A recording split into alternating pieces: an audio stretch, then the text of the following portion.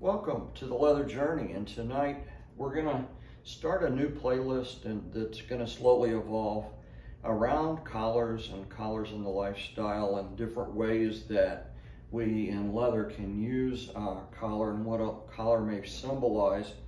Uh, often collars are just a fashion statement. I know in the last maybe decade or two there's been some fashion trends, whether it be goth or steampunk or just uh, just people wearing them like a like a choker or an accessory. And uh, so tonight I have a, a, a spectrum of collars to show you. This is certainly not all the possible designs that are possible with, with collars. I don't have a, for example, I don't have a posture collar to show you, but you can Google posture collar and see what one looks like.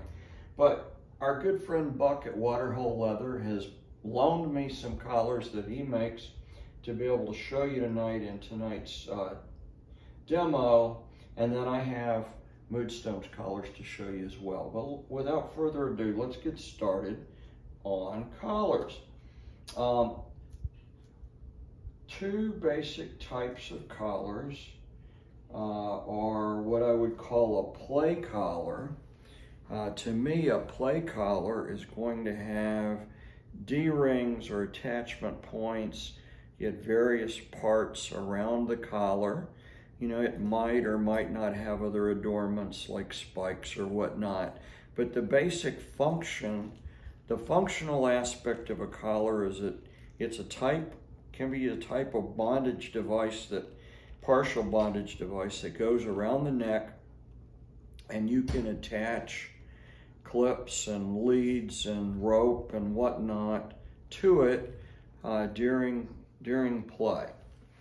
Uh, a collar that only has uh, a D-ring in front, I would consider this certainly as a lifestyle looking collar, but it only has a D-ring in front, so it's not so functional for play other than maybe attaching a lead to it or a leash and leading someone around.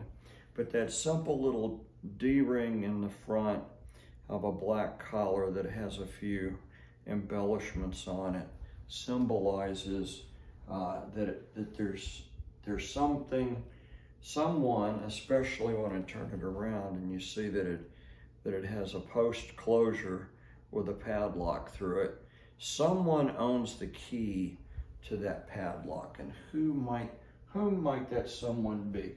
That's an interesting question. So um, this collar you know when it's on someone is going to look more a little more like a choker. It's going to fit up around the neck. So someone's going to ask well how tight or loose should a collar fit? As my rule of thumb uh, or rule of finger, if you will. When, when the collar's in place, you should be able to put at least one finger between the collar and the neck and no more than two. And some people, and, and some of that's personal preference. Some people prefer it to be loose enough that they can slip two fingers. Some people prefer the, the closer fit of just one finger. But that's with a collar that's designed to go around the neck. This collar is kind of uh, more of a, an oval shape, so it's designed to hang down around the top of the collarbone. And it, you know, it has a, a ring for attachment. Uh, this, again, is a similar oval shaped collar. It's just made out of a simple piece of leather that's braided with a loop on either side and then it's held together with, uh, with a heart-shaped padlock. Could be any padlock, but it, this particular type collar does require some kind of clasp closure to keep it together. So that these are Moodstone's collars here. This was her ownership collar. Uh, the black collar with a simple D-ring, and the padlock, which I have the key to. Uh, this collar she picked up because she sometimes she wants to be a little more comfortable. Like if we're at an event and she's going to workshops all day long, she doesn't necessarily want this constraint constrained around her neck. So she'll wear this collar because it it it's less constricting around the neck. And then she was at an event that actually Buck at Waterhole Leather was vending, and she took her fancy to this one, which is kind of more of a fashion collar. It's it's pink and shiny, and it's got some silver leather on it. And again, this fits around and uh, doesn't constrain her neck, so she really likes this uh, when she's in a more relaxed play setting. And it has a post and a lock. So um, let's look at the ones Buck us. The play ones, and we'll do a, a separate video on this. We have one that's blue. It's black leather, but it has a blue leather uh, strip of leather in the center of it that, that holds the three D-rings. And the back is finished with what I what's called a lock, locking roller buckle. So a padlock can be put through that buckle. In fact, all of these are finished the same way with locking roller buckles and adjustments. So you have a blue one, a red one, and a black one. Well now, why would you need blue, red, and black other than for a fashion statement? Well, at least in the tradition that I've been taught and that I follow, uh, blue, red, and black collars have a specific meaning in certain uh, parts of the leather lifestyle community. And I'll do a whole separate video on what those collars mean and what they represent. Uh, Buck also loaned me what I'm going to call a fashion collar uh, it's pink. He had these in different colors. I think it's actually fluorescent.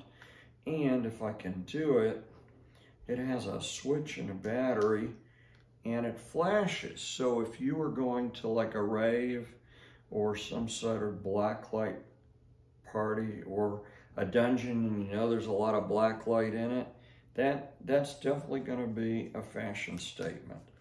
This one doesn't have a locker, locking roller buckle. It's just a regular buckle, so it couldn't be locked.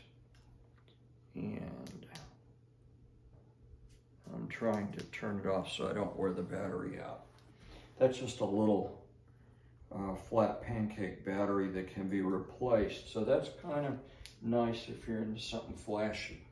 Now this, this particular uh, collar that that Waterhole Leather's made has a heart shape, which is kind of sentimental, uh, and it's made out of suede. There's a little strip of black leather in the center of it, but it's purple suede. He had these in a variety of different suedes.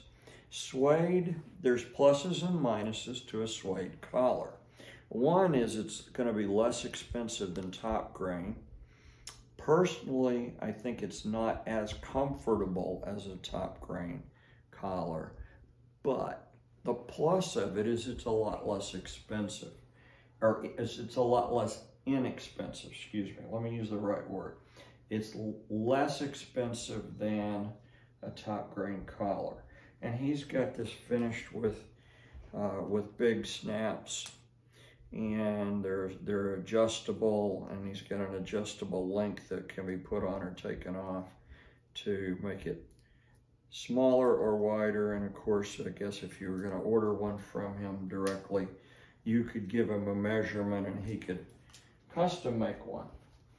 Uh, and then this one I think I've already showed off.